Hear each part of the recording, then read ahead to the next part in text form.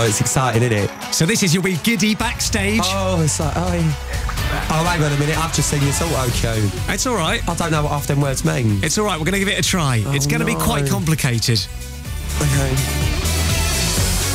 Right, so the audience are G'd up. Everyone's like, yeah, you know, it's Xtra Factor. We're loving life. Here we Fluffy's go. wearing shorts.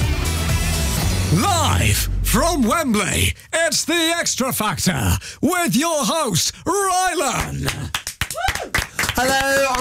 And welcome back to the Xtra Factor, coming to you live from the auspicious town of Ashby de la Zouch, where the only prerequisite is the ability to tunefully vibrate your larynx, or as we say in the business, sing. There you go. Hang on, there's more. What?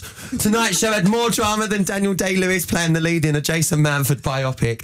Louis Walsh said that Union J reminded him of a young Ladysmith back Mombazo. And Gary had to pull. What? I cannot say that on the radio. You can, you can say that. And Gary had to pull Louis Walsh off. Ella Henderson after she criticised his hair, saying he needed to use a dye that contained clear, all nice and easy. More on that later. but for now, it's over to Caroline, who's a. But for now, it's over to Caroline, who's about to perform a full back sack and crack on Wagner. Very good, very good. You're a natural at That that. I'm, I'm not being funny. That was really badly placed. Very badly placed. oh dear. Um, well, I think you're great. That's good. So we know we, we can do the auto cue thing.